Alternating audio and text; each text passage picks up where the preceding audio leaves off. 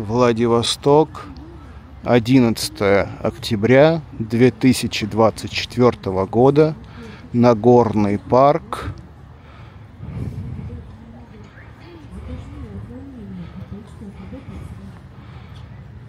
Здесь сейчас происходит мероприятие, называется оно «Горожане читают».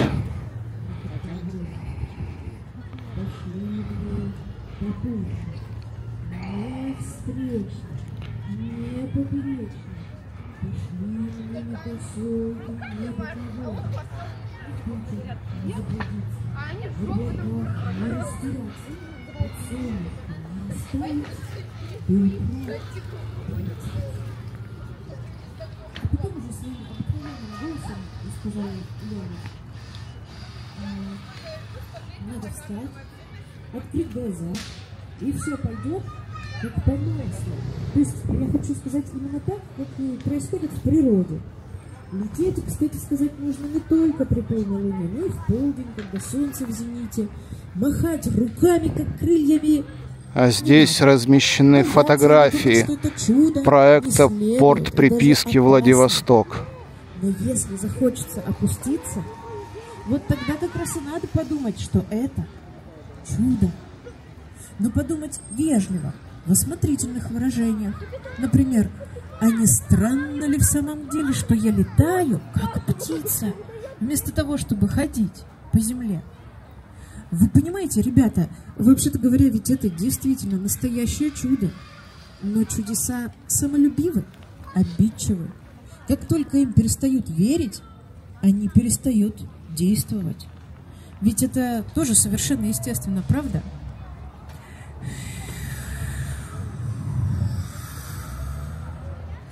Если бы ребята не были так увлечены разговором, они бы заметили, что какой-то странный ветерок бродил по Немухину в ту бесшумную лунную ночь. Вот он заглянул в один двор, пошарил в сарае, пробрался в курятник и смертельно напугал кур. Подув на них сзади, как это делают хозяйки, размышляя, стоит ли их покупать. Вот заглянул в другой, обежал флигелек, осторожно залетел в слуховое окошко, можно было подумать, что этот ветерок искал кого-то в Немухине, или даже что он, не зная адреса, догадывался, где живет тот, кого он искал. Конечно, жители Литандии летают в любое время дня и ночи без обращения к господину главному ветру, продолжал Леня. Но иностранцы, ведь в Литандии вы, как это ни странно, сразу же станете иностранцами, могут летать только зная тайну полета. Ребята разговаривали тихо, и ветерок, бродивший по Немухину, может быть, не услышал бы их, если бы Петька не спросил громким голосом. Значит, если о чудесах подумать невежливо, они тебя так брякнут о землю, что, пожалуй, костей не соберешь. Не знаю. Случалось ли вам замечать, как сильный шторм в густом лесу подчас валит деревья, не всплошную, а точно по выбору, переламывая, как спички, столетние сосны. Нечто подобное произошло в ту минуту. Легкий ветерок вдруг превратился в вихрь. Все закружилось во дворе трубочного мастера. Двери распахнулись. Забор с треском упал. Сарай превратился в груду переломанных досок. Дом уцелел, слегка переносившись на крышу унесло. В мухе Рано на утро пришлось перегонять через речку с помощью самоходной барки.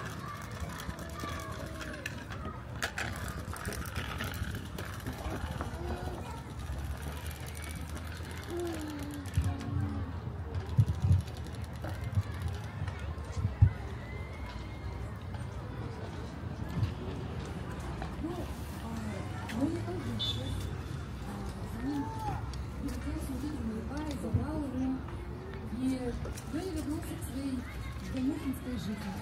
Стал ходить за керосином, и а, по ночам во сне он видел Немухина. И вот как-то он пошел раз за керосином, стал лучше.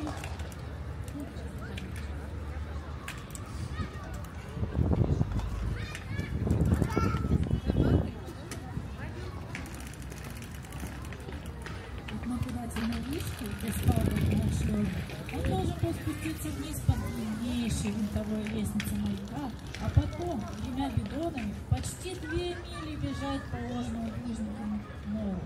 Куда проще было бы в пять минут слетать к керосинщику и обратно.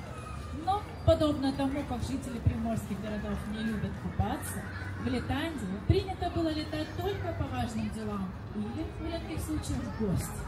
Хвост был уже длинный, когда запыхавшись, Леня добрался до керосинщика и уселся на каменную плиту. И надо сказать, что это был не совсем обыкновенный хвост. Почти никому не нужен был керосин, и многие пришли только потому, что на этом месте и в этот час каждое утро покупали керосин их отцы и. В Британии были сильные традиции, а традиции, как известно, в некоторых странах переходят из поколения в поколение. Керосина, слава богу, хватило и для Лени, и он поплелся дальше, не думая о том, как хороша была Литанзия в этот нежаркий октябрьский день. Красно-рыжие черепичные крыши были похожи на треугольные ступени, не спеша поднимавшиеся в гору. И они, они были ступенями для господина главного ветра. Его сквозной, открытый со всех сторон дворец, стоял на высокой желто-зелено-красной горе, и крепость, по стенам которой можно было бродить целый день, казалась оттуда цветной мозаичной трапецией, вставленной между синевой моря и небо. Но эта трапеция, если спуститься вниз, превращалась в старинный городок с узкими улицами, переходящими в лестницы, и с лестницами, ведущими в пятисотлетние храмы. В центре города была площадь, уложенная гладкими плитами. Над самым старинным из храмов висел прозрачный колокол, светившийся по ночам таинственным зеленым светом. А, и вот Леня нес бидон из керосина и вдруг почувствовал, что одной его руке стало легче, и увидел Петьку, который подхватил бидон, что другой его руке стало легче, и увидел Таню, которая подхватила бидон с керосином. И они пошли на маяк. С ними еще прилетел старый трубочный мастер. А Петька захватил с собой того самого котенка. А, решено было улетать, возвращаться в Немухин. Но Леня был честным мальчиком, и он сказал, прежде чем мы вылетим, надо сделать две вещи. Первое, подлить керосин, чтобы не погасла маячная лампа. И второе, нужно разбудить смотрителя, а потом уже лететь.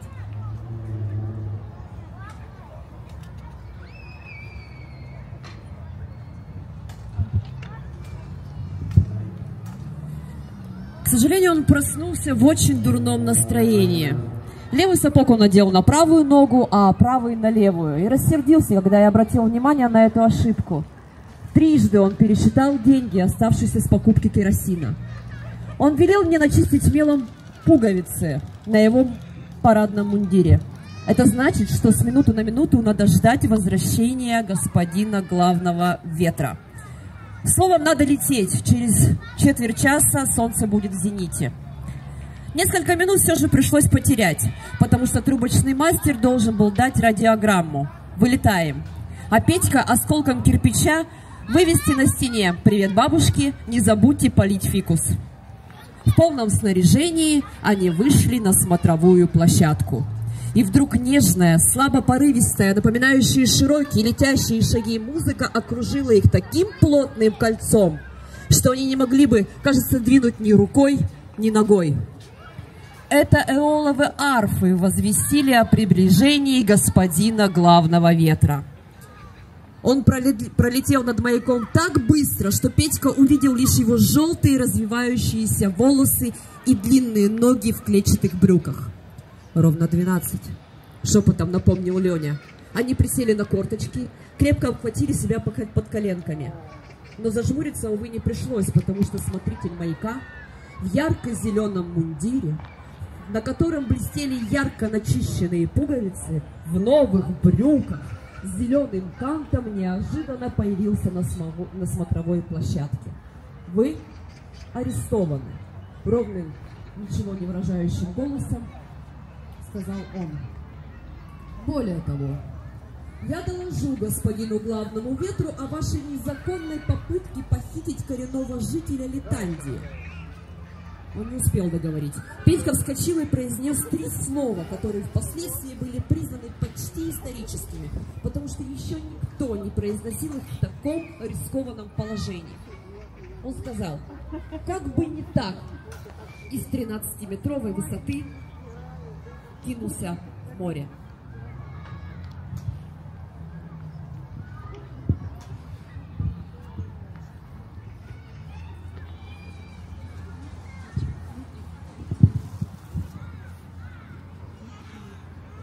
Что стало с Петькой, я расскажу чуть позже.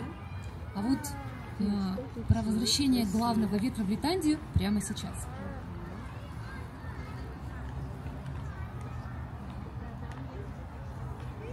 Всем добрый вечер. Господин главный ветер неизменно возвращался из своих путешествий с какой-нибудь новой затеей. На этот раз он был увлечен мыслью, которая никого не заставила задуматься в Британии, потому что все знали, что через несколько дней он просто забудет о ней. Она была выражена в четырех словах. Что прошло, то прошло. И в объявлениях, наклеенных на стенах, эти слова разъяснялись. Прошлого не вернуть. Как бы уж там ни стараться. Да и стоит ли? Ведь кто-то уже доказал, что время необратимо. Таким образом, нельзя было сказать, что господин главный ветер не заботился о Литандии. В других странах он вел себя гораздо хуже. Засыпал песком города, обрушивал на морские пристани волны, высотой с Эверест, топил корабли, устраивал обвалы в горах и очень любил доводить людей до нервного расстройства. Как настоящий разбойник он скрывался под сотней имен и прозвищ. Сирокко, Суховей, Самум. Он обрушивался на целые континенты, и теперь уже никто не верил, что некогда у него была строгая мать, которую он уважал и любил. Об этом легко судить по известной колыбельной песне. «Спи, дитя мое, усни, сладкий сон к себе мани, в няньке я тебе взяла ветер, солнце и орла». Улетел орел домой, солнце скрылось за горой, ветер после трех ночей мчится к матери своей. Ветра спрашивает мать, где изволил пропадать, а ли звезды воевал, а ли волны все гонял. Не гонял я волн морских, звезд не трогал золотых, я дитя оберегал, колыбелечку качал. Разумеется, эта песня была строго запрещена в Литандии. Еще бы, кто посмел бы предположить, что господин главный ветер занимался такими пустяками и даже был, строго говоря, обыкновенной няней. Ходили слухи, что в одной из самых старинных рукописей, которые давным-давно никто не читал, рассказывалось о том, что под Литандией сохранились пещеры, где добровольно или по принуждению оставалось навсегда все забытое господином главным ветром или то, что он хотел забыть. Там течет подземная река, считали вдруг жители Литандии. А в ней, представьте, водятся пещерные рыбы, которые могут жить только в темноте. Он застыл в воздухе теплый солнечный дождь, который не согласился стать холодным и косым, несмотря на приказ господина главного ветра. Но самый странный слух, которому почти невозможно было поверить, заключался в том, что он, в конце концов, рассердился на свою мать за ее советы и наставления и решил, как это часто бывает с подрастающими детьми, жить своим умом. Более того, он заключил ее в одну из подземных пещер и забыл о ней на целое тысячелетие.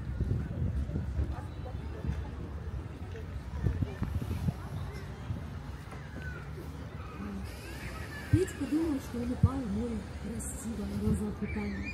Но на самом деле он шлепнулся в мешок картошки, но остался жив, здоров, доплыл до берега и пошел прямиком в дворец главного ветра. Он-то думал, что его будут останавливать стражники, но никто им не интересовался. Городок это был какой-то совершенно сонный. Он себе спокойненько шел, шел на сопку, и вдруг стало происходить что-то странное. Идет, идет, и вдруг его что-то сбивает с ног. Он думает, странно, какая-то случайность, наверное. Дальше идет, опять его что-то сбивает с ног. И когда уже после десятого раза он понял, что это телохранители, это ветерки, которые защищали территорию главного ветра. Ну, как говорится, в любой непонятной ситуации ложись спать, так сделал и Петька. Нужно было что-то придумать. И привалившись к желтому кленовому кусту, Петька стал изучать необычайный факт как с научной, так и практической точки зрения.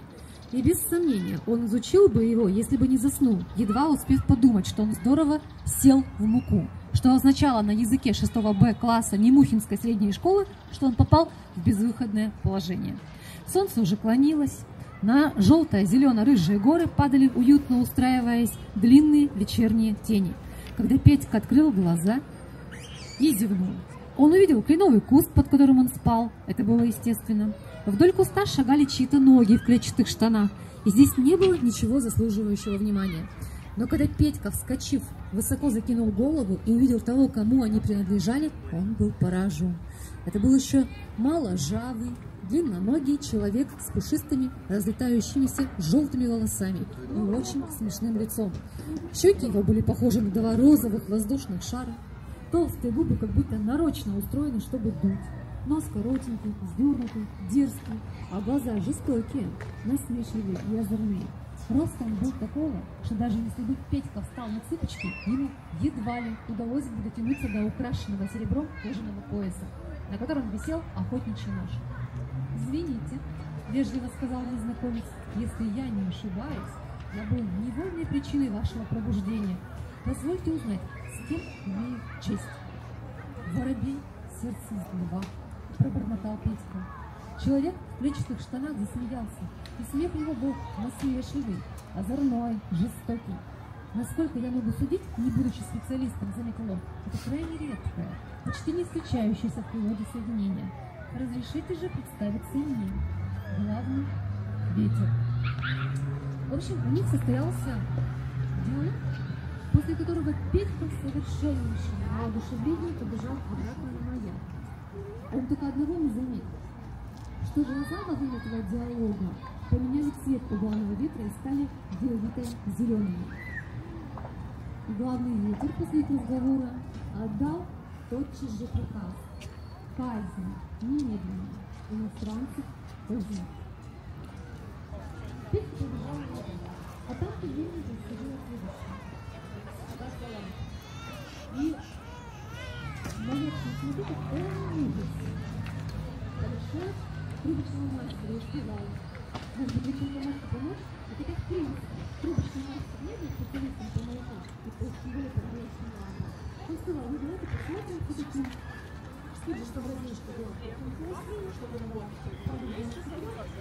Они начали помогать.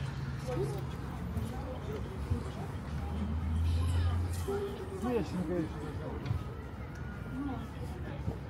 Мы видим, что программ был знак, который означал арест немедленный казнь иностранцев. Все фигуры стали на переезде.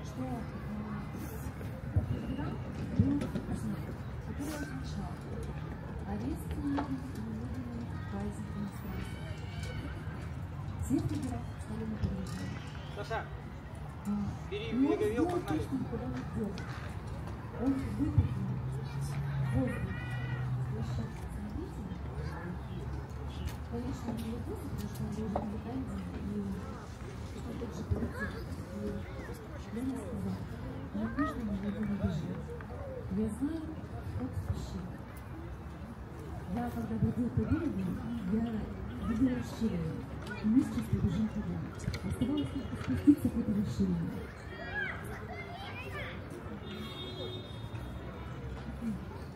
Он не успел договорить, как маяк задрожал от самой скалы, на которой он стоял, до заметавшейся в ужас маячной лампы. Железный вихрь ударил в него, и он качнулся направо и налево, как гигантская кегля. «Бегите вниз!» — закричал Леня. «Торопитесь! Главный ветер в гневе номер один. Может быть, мы еще успеем спуститься». Они бросились вниз по лестнице, едва успев захватить. Там скрипка. Трубочный мастер своим фотоаппаратом, а Петька потенка, когда второй удар обрушился в глаза. Тысячи воздушных кристаллов, тяжелых как пушечные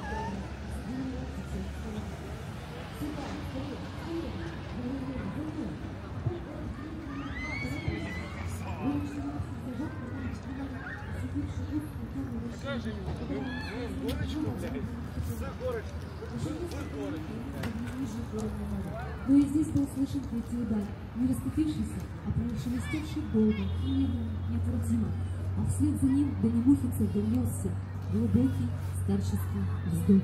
Это вздохнул маяк. Когда старый трубочный мастер, который шел со своим фонариком впереди, оглянулся, он увидел, что худенькое лицо Лени было мокрым от слез. Но сами немухинцы, в общем-то, и Леня были спасены, потому что они успели забежать во вход в пещеры. И бежали уже по, как диггеры, по подземным ходам. И растения, отказавшиеся стать другими, окаменели здесь, сплетаясь и поддерживая друг друга. И в этом саду, который не казался мертвым, потому что он все-таки был садом, под веткой каменного дуба на обломке скалы сидела старуха с гордо откинутой головой и неподвижными, как сама неподвижность, глазами. И если бы не мухинцы, убегая из пещеры, оглянулись на нее, они заметили бы, что эти глаза задумчиво проводили их с почти неизменившимся, но ласковым выражением. Опираясь на посох, крепко сжимая его побелевшими пальцами, она сидела на длинном платье, каменные складки которого переходили в складки скалы. Теперь догоняющий, раздраженный, с размаху ударяющий о стены шум был заглушен струящимися шумом подземной воды. Но главный ветер был близко, и хотя Леня надеялся, что пройдя пещеры можно добраться до берега и спрятаться вдали от маяка в заброшенном доке, чем длиннее становился его путь, тем короче становилась надежда. Снова загорелся впереди слабый фонарик старого мастера, и они шли и шли, почти падая от усталости по очень кам... острым камням. Они не знали, что главный ветер пролетел уже первую и вторую пещеры, ворвался в третью и остановился как вкопанный, услышав усталый, но твердый голос, который произнес только одно слово «Сын».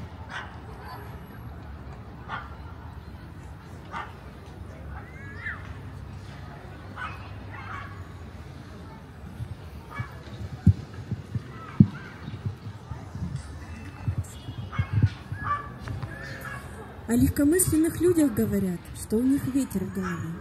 Представьте же себе, какой ветер поднялся в голове господина главного ветра, когда он увидел свою мать, о которой ни разу не вспомнил за тысячу лет. «Что ты здесь делаешь, мама?» — с изумлением спросил он. «Нам надо поговорить. Я ненадолго задержу тебя. Год или два, ведь это немного». «Пожалуйста, мама, но я не понимаю, почему ты не напомнила о себе?» «У меня не было времени. Я думала о тебе. Тебя благословляли моряки, у тебя были сотни ласковых прозвищ. Ты вертел крылья мельниц, помогая жить миллионам людей. Ты вмешался в несправедливую войну и разметал великую армаду. Ты был одной из самых разумных сил природы — и вот теперь ты гонишься за детьми, которые пытаются спасти своего товарища от смерти. Она говорила, он нетерпеливо слушал, но его глаза, которые только что были ярко-зелеными от бешенства, стали медленно голубеть. знаешь, почему этот мальчик убежал от тебя? Потому что ты лишил свою страну воображения.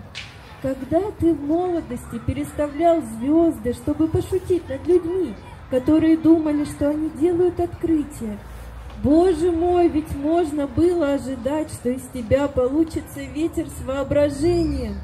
Он улыбнулся. Я очень скучаю, мама. Вот видишь, а сколько раз я говорила тебе, что нет ничего опаснее скуки. От скуки до жестокости один шаг. Трудно сказать, что происходило в эти минуты в душе господина главного ветра, хотя бы потому, что неизвестно, есть ли у него душа. Но ведь говорят же, ветер улегся, или даже ветер упал. «Прости меня, мама», — сказал он, — «вернись ко мне, ты станешь жить в моем дворце, воздушном, пустом, веселом, в нем ничего нет, кроме легких ветерков, которые будут исполнять, исполнять каждое твое приказание. Тысячу лет я буду просить у тебя прощения за то, что я забыла тебе на тысячу лет. Она покачала головой. Нет, мне здесь хорошо. Тишина. Я не скучаю. Жизнь шумит здесь подземной рекой. Она обегает весь мир и возвращается ко мне с новостями. Впрочем, у меня к тебе просьба. Освободи теплый дождь. Он устал.